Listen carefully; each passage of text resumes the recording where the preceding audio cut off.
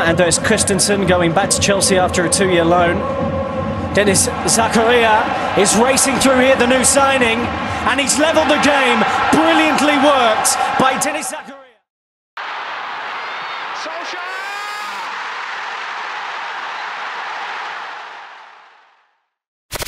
Manchester United saat ini memiliki Nemanja Matic sebagai gelandang bertahan.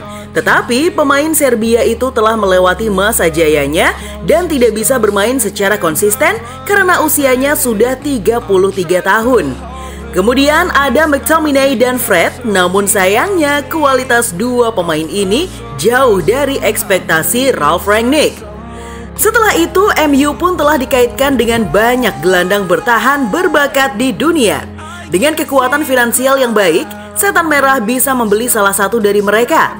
Manchester United pun kemudian dikabarkan tertarik mengontrak Denis Zakaria. Tetapi, bintang Borussia Mönchengladbach itu juga diminati oleh beberapa klub elit.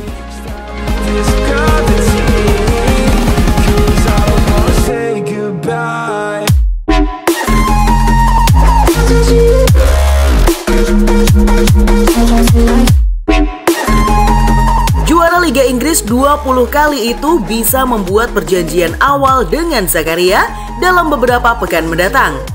Menurut laporan jurnalis sepak bola Pete O'Rourke, Setan Merah bisa mengontrak pemain berusia 25 tahun itu secara gratis karena kontraknya akan habis pada 2022. Tetapi itu semua akan tergantung pada opsi lain yang sedang dipantau Manchester United. Mereka masih harus melihat apakah setan merah akan mendatangkan Denny Zakaria atau tidak. MU sendiri sebenarnya diharapkan mendatangkan gelandang bertahan baru pada musim panas 2021. Namun sayang, klub dan mantan manajer MU saat itu, Ole Gunnar Solskjaer, memutuskan untuk tidak melakukannya. Performances, good results uh, on the pitch. That's the players' focus. That's my focus.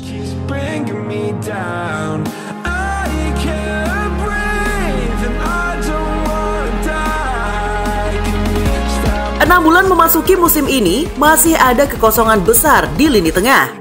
Karena itu, merekrut gelandang bertahan baru dianggap sebagai prioritas utama setan merah. Denny Zakaria adalah salah satu pemain yang dipantau MU. Setan Merah juga telah dikaitkan dengan gelandang Wolverhampton, Ruben Neves. Manchester United kabarnya siap melayangkan tawaran senilai kurang lebih 35 juta pound sterling kepada Wolverhampton untuk memboyong Neves. Rangnick sudah menjadi saksi kehebatan Neves ketika United dikalahkan Wolverhampton 0-1. Pada laga itu, pelatih berkebangsaan Jerman itu benar-benar terpukau melihat penampilan Ruben Neves. Rangnick menilai Neves adalah salah satu pemain yang tepat untuk menambal lini tengah MU yang selalu menjadi masalah di tiap laga United.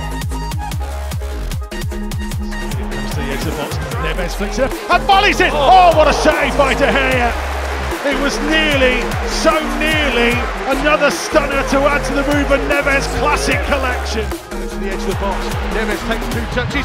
Carlton! Oh, my word! Oh, you are kidding me! Ruben Neves has just curled one! Forgive the pain you gave to me so long ago. Sleepless nights I laid awake. Di sisi lain, Denny Zakaria sendiri merupakan sesosok pemain yang memang tidak terlalu banyak berkontribusi pada gol dan assist. Namun dirinya dapat mempengaruhi permainan melalui performa bertahannya dan kemampuannya untuk merebut bola kembali serta menciptakan pola gerakan menyerang. Gelandang asal Swiss ini juga terbiasa bermain sebagai pasangan di lini tengah. Dia adalah salah satu gelandang bertahan yang berfokus pada posisinya untuk bertahan. Pemain berusia 25 tahun itu pun juga bisa dijadikan sebagai back tengah karena ia memiliki atribut fisik yang sangat mengesankan. Zakaria unggul dalam kemampuan tackle, kecepatan, kerja tim, dan stamina yang membuktikan bahwa ia bisa menjadi gelandang bertahan yang andal yang akan bekerja tanpa lelah untuk membantu tim. Christensen going back to Chelsea after a two-year loan. Dennis Zakaria is racing through here, the new signing, and he's levelled the game. Brilliantly worked by Dennis. My love, I'm gone. I need to be strong. The darkness tried to swallow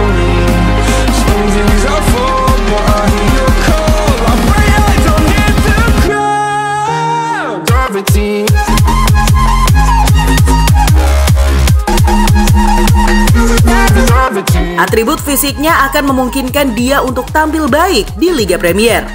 Apalagi dengan atribut teknis yang ia miliki, mampu membuatnya menjadi gelandang yang solid, serta bisa membantu mendapatkan kembali bola dan mempertahankannya. Dia diyakini akan menjadi tambahan yang brilian untuk skuad MU sekarang. Zakaria dinilai bisa menghubungkan pertahanan serta membuat serangan MU lebih efektif. So, menurut kamu apakah dengan kedatangan Zakaria ke Manchester United pada bulan Januari ini bisa mempengaruhi skuad Rangnick ke depannya? Tulis siap pendapat kamu di kolom komentar.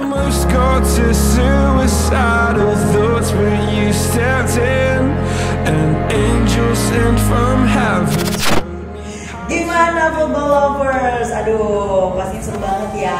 Dan aku masih punya banyak banget informasi seru lainnya karena bakalan terus update setiap harinya cuma buat kamu. So, pasti mau ketemu terus di Football ya. terus sama aku lagi, aku lagi.